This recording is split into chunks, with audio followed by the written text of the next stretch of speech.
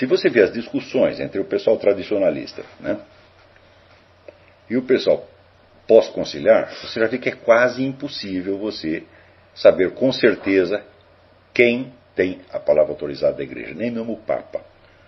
É? Porque se você pega essas conferências do é, irmão Michael Diamond, tem um monastério aqui em Nova York, ele faz acusações de heresia tão fulminantes contra o Papa. Ele faz umas duas mil acusações, hum?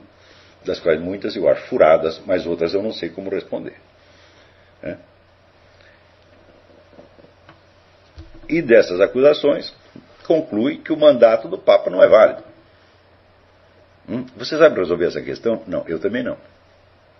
Hum? Então, qual é a minha orientação?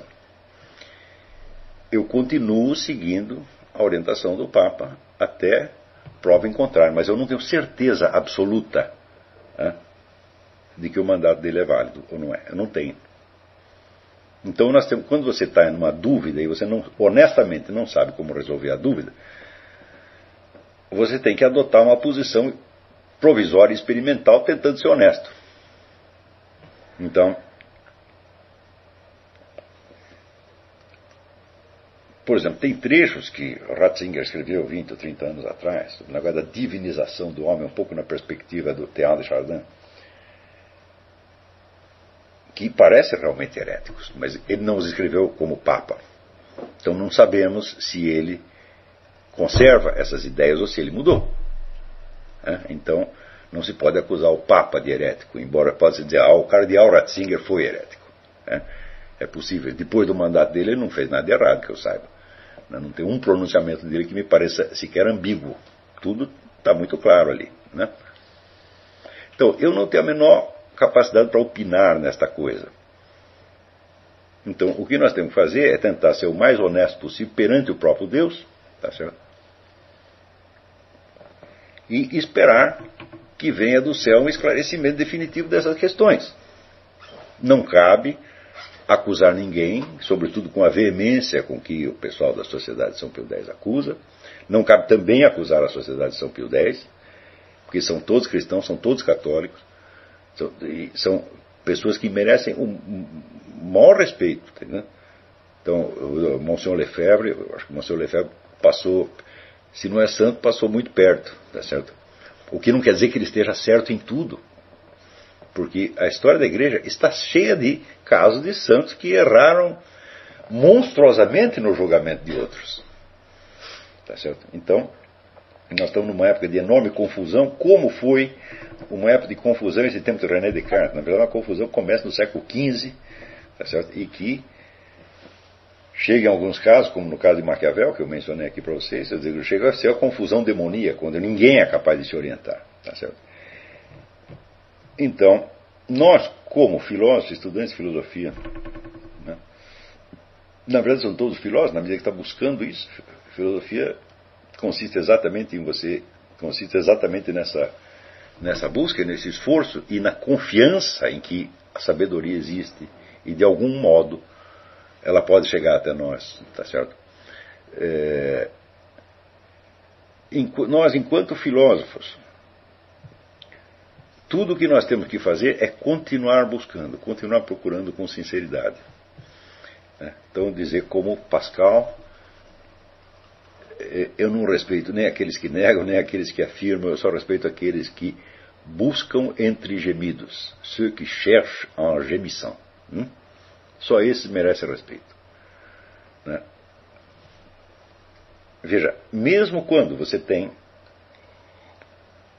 uma, uma verdade final, um dogma da igreja, né? sobre essa verdade final nunca se refere a tudo que existe, se refere a algum ponto de doutrina. Né? Então, por exemplo, o nascimento virginal de Cristo. Hum? A ascensão da Santíssima Virgem Maria, e assim por diante. Então, quanto a esses pontos, não há discussão. Mas como daí nós vamos deduzir desses poucos pontos de doutrina católica assentada pelo dogma, como que nós vamos deduzir daí conclusões para todas as questões filosóficas que nós podemos levantar? Isso é tão absurdo. Você olha, querem conhecer a doutrina católica, vocês peguem o, o livro do Denziger, o Enquiridion, onde ele coloca lá todos os dogmas. Pá, pá, pá, pá, pá, pá. Então, é um livro, hum? muito menor do que a Bíblia, né? tá é grande, mas é menor que a Bíblia. Então, e como eu poderia deduzir daqueles dogmas é, conclusões para todos os domínios da realidade para responder a todas as questões de ciência e filosofia que existem? Isso é absolutamente impossível. Impossível. Né? Então, por isso mesmo, não é possível você fazer comparação entre a doutrina católica e investigações filosóficas. O que você pode fazer é o seguinte: se o sujeito criar uma corrente teológica nova, hum, afirmando formalmente dogmas que são contrários às da igreja e apresentando isso em nome da igreja, então você está num caso de heresia. Se o sujeito apresentar outro corpo de dogmas, mas disser que não é católico, não tem como acusar de heresia. Ele é um ateu, é outra coisa, é qualquer coisa. Herética não é. A heresia consiste em assumir indevidamente a, a voz da igreja. Falar como porta-voz da igreja sem selo. Por exemplo, a teologia da libertação faz isso. Ela está vendendo para as pessoas uma doutrina anticatólica, que não é apenas não católica, é anticatólica, como se fosse católica. Então o fiel vai lá, acredita que ele está indo na igreja católica e obedece a esse desgraçado. Tá então, no caso, nós temos uma doutrina teológica, não são livros de filosofia. Né? Então, eles estão proclamando dogmas. E os dogmas que eles pro proclamam são contrários da igreja. Então, aí é claramente um caso de heresia. Tá certo? É... Eu não me lembro jamais de ter dado sequer orientação prática quanto à vida religiosa de cada um. Nunca fiz isso. Não me considero qualificado para isso. Aliás, alguém me manda aqui, Marcos Vinícius me pergunta: o senhor acha do atual catecismo da igreja também do atual Código de Direito Canônico? Eu não tenho nenhuma qualificação para opinar sobre isso. Nenhuma. Isso aí precisa, eu precisaria ter dedicado, vamos dizer, ao estudo da doutrina da igreja o mesmo tempo que eu dediquei ao estudo da filosofia. Mesmo assim, eu teria que opinar com muito cuidado, com todo respeito, com cuidado para não, vamos dizer, não ferir injustamente ninguém. Tá certo? E para não infringir a doutrina da igreja em ponto nenhum. Isso é muito difícil. Então, é, quando eu, proponho a vocês o, o, voto de pobreza em matéria de opiniões, é porque eu mesmo o pratiquei e pratico ainda. Eu procuro ter opiniões apenas sobre aqueles pontos aos quais eu dediquei algum tempo. Né? Veja, a sua opinião vale o quanto você dedicou a ela. De quanto tempo você levou para você criar essa opinião? Dois minutos? Então, né, assim, você pega, divide por. Vamos fazer uma, uma conta razoável. Divide por 100. O tempo de audição que uma opinião merece é um centésimo do tempo que você levou para produzi-la. Né, vocês imaginam, por exemplo, você pega uma teoria qualquer sobre qualquer coisa, você pega a teoria da relatividade. Quanto tempo Einstein levou para elaborá-la? Né? 30 anos, mais ou menos, né? Quer dizer, desde as primeiras intuições que ele teve até que ele chegou, vamos dizer, à tal teoria geral da relatividade. 30 anos? Bom, você não vai ficar 30 anos estudando a teoria de Einstein. Você conhece algum físico que na universidade teve um curso de 30 anos sobre a teoria da relatividade? Nenhum teve. No máximo teve um curso de dois anos. É. Então, qual o nível de atenção que as suas opiniões merecem? Eu digo, ah, merece mais ou menos a atenção, um pouco da atenção que você mesmo prestou a ela. Agora, se a opinião saiu assim de repente, levou dois segundos para ser criada, por que, que nós temos que ouvir? Então, o direito a ter uma opinião é correspondente ao direito de não ouvi-la ao direito de não lhe prestar atenção. Porque se todas as opiniões tivessem direito à atenção alheia, façam as contas, veja que seria absolutamente impossível. Você tem aí 30 pessoas numa sala, né? imagina que cada um tivesse direito à atenção completa dos outros para as suas opiniões. O negócio não terminaria tão cedo. Então isso quer dizer que nem todas as opiniões merecem atenção pública. Algumas são simplesmente coisas que você pensa. Está lá sentado no banheiro, lhe ocorre uma ideia de, bom, muito bem, então você prestou atenção periférica à sua ideia durante dois, dois segundos. Né? Isso não quer dizer que nós tenhamos que sentar para ouvi-la. Né?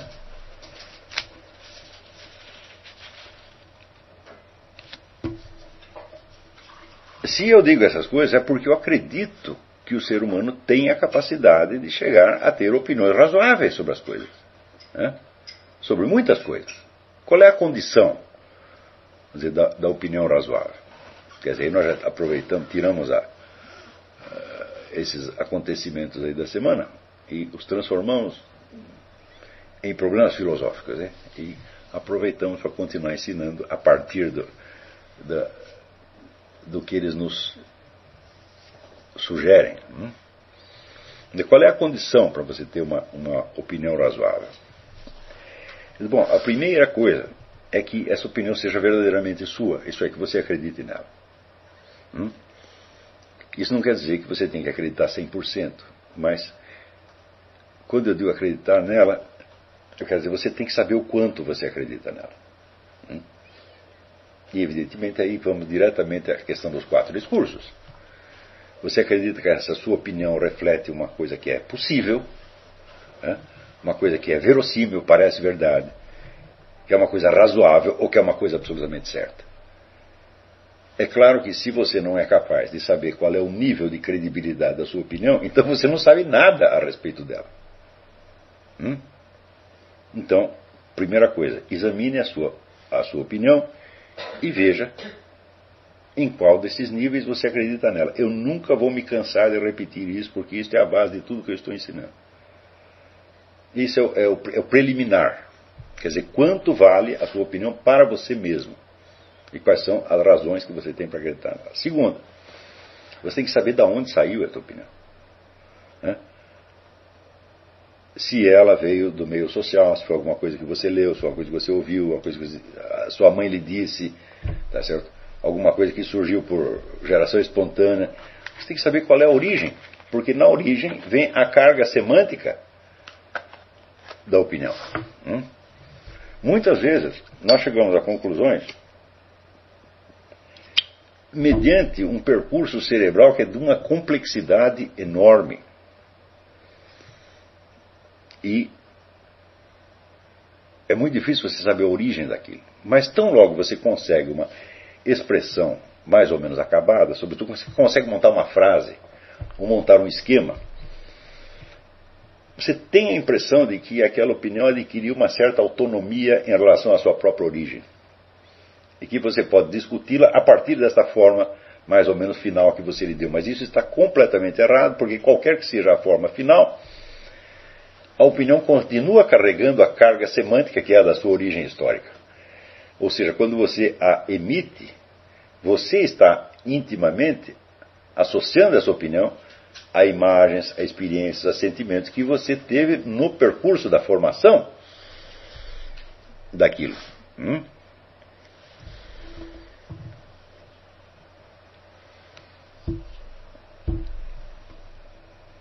Vamos dizer, a terceira condição é que você tenha consciência do problema ao qual você está respondendo. Quer dizer, a sua opinião é uma resposta a quê? Né? Qual é o problema da qual a sua opinião é a solução? Qual é a pergunta da qual a sua opinião é uma resposta? Se você, uma vez que tem a opinião, você não é capaz sequer de formular a pergunta da qual é uma resposta, então eu digo, você não entende a sua própria opinião. Porque você não sabe a respeito do que ela é uma opinião. É evidente que toda afirmação filosófica é resposta a uma pergunta, é resposta a uma dúvida, é reação a um problema.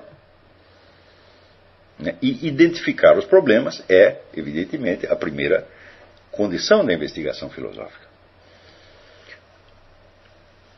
Vamos dizer, a opinião filosófica ou político, moral, sociológico, né, amputada da pergunta a qual ela responde, ela não significa nada. Porque você não pode saber qual é o nível de predicação e qual é o nível de credibilidade na qual você está afirmando aquilo.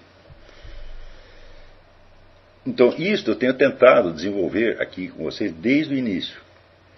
Mostrar quais são os problemas, quais são as dificuldades e como nós podemos encaminhar, vamos dizer, uma investigação séria hum, a respeito.